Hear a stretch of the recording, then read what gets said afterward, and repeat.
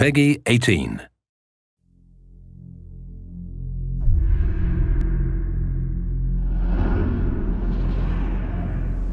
The augmented era began with such promise. Until the incidents turned the world upside down. 50 million dead, hundreds of thousands more maimed and injured. All because a few rich opportunists plotted in secret to control us. Today, hatred of Augs has morphed into a full-blown mechanical apartheid with violent clashes fueling unrest. The augmented are suffering a genocide.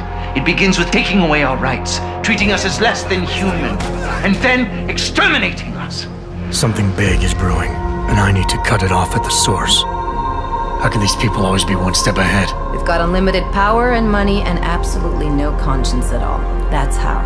They manipulated the dawn of Human 2.0, made it dangerous, made me I'm going to use every advantage I have to stop them.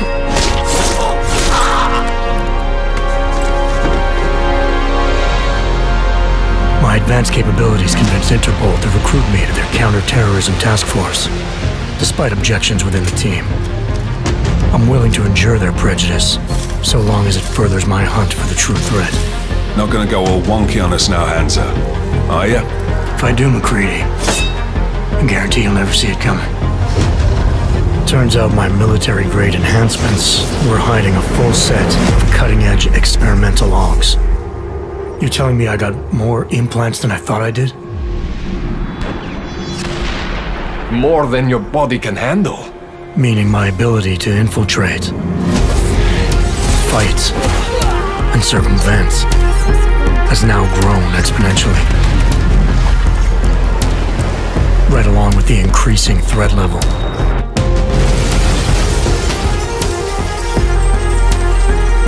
Being stationed in Prague places me at the epicenter of terrorist activity. And with blame for the latest atrocity being leveled at an augmented group there, the only certainty is that the body count will keep rising. Our territory is fiercely defended. No one sets foot in there. The task force wants me to bring ARC's leader to justice, dealing with his augmented army as I see fit. Starting my investigation by interrogating Talos Rucker on the realities of his non-violent approach could prove beneficial. Every floor of their towering complex is packed with armed militia and filled with high-end security. But its makeshift construction provides me with plenty of options. Going in full force and guns blazing may result in casualties.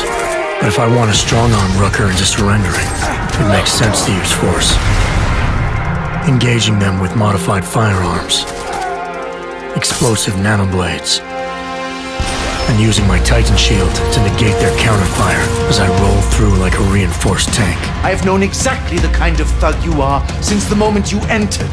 If ARC had no involvement in the bombing, it might justify going in like a ghost, hacking their security systems, using the architecture to my advantage, delivering concussive blasts via the PEPS gun, and relying on the Tesla's electrified projectiles to avoid any unnecessary deaths. A lack of casualties would be a show of respect to someone like Rucker, and might just convince him to peacefully turn himself in. Faced with two terrible choices, I choose the lesser evil. I will come with you. But he and ARC represent just one facet of my hunt for the truth and I'll need to keep tracking down leads and making contacts on both sides of the law if I hope to uncover the true motives behind these escalating attacks. It's not always about doing the right thing, or about doing things the right way.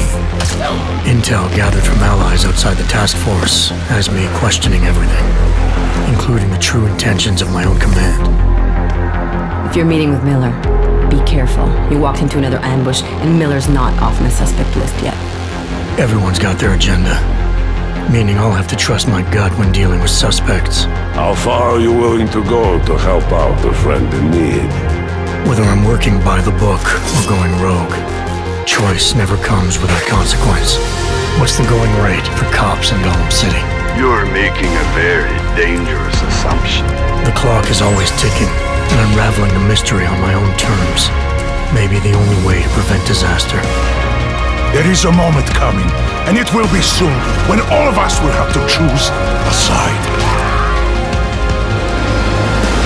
As anti-Aug conflicts become a global concern, Prague represents just one square on a giant chessboard whose pieces are continually manipulated from the shadows. I have to choose my allies wisely, reminding myself of the greater cause. The elite may obscure themselves in darkness, but the truth is still mine to reveal. I don't care that they only speak in whispers. I won't let them have the last word.